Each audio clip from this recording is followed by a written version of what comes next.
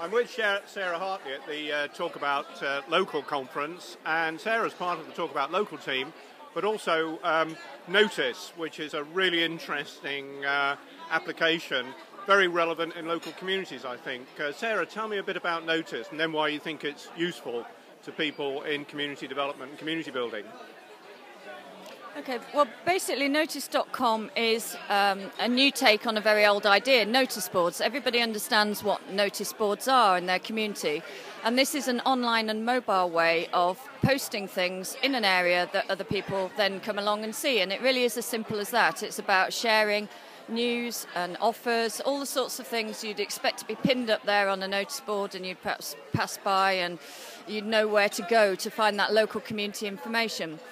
So for, in terms of uh, community coordinators, it's uh, an interesting tool for them because they can actually set up their own notice boards and post their own content on it and have control over that notice board and what it looks like and have its own dedicated URL. But the benefit that the online aspect brings to it is that everybody in that locality, everybody who wants to look for content in that area will see it. Whether or not they know about that notice board or not, they'll see the content purely because they are in that locality.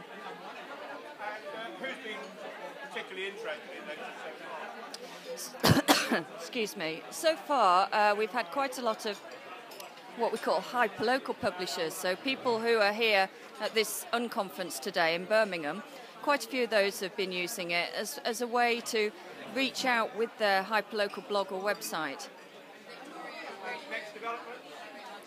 Well, at the moment we're working hard on the API for N0tice, so we're looking for people to partner with who might want to use the N0tice um, functionality in new and interesting ways and also soon we'll be able to offer an iPhone app as well to get the mobile reporting really off, off the ground.